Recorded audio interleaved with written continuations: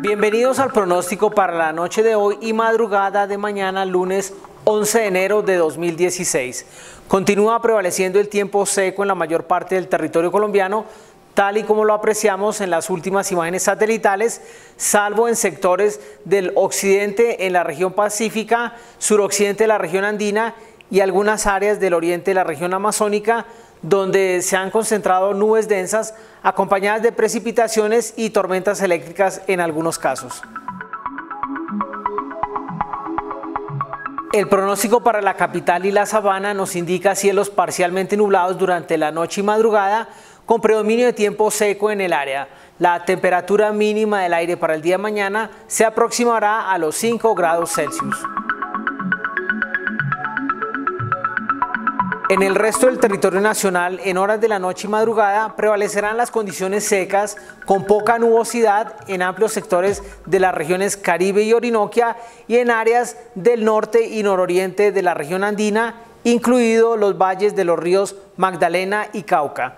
La mayor cantidad de nubosidad con lluvias y tormentas eléctricas en algunos casos se mantendrá en sectores de la región pacífica, especialmente en el centro y sur de Chocó, zonas de Valle del Cauca, Cauca y Nariño, en algunas áreas del sur de la región andina y en el oriente de la región amazónica.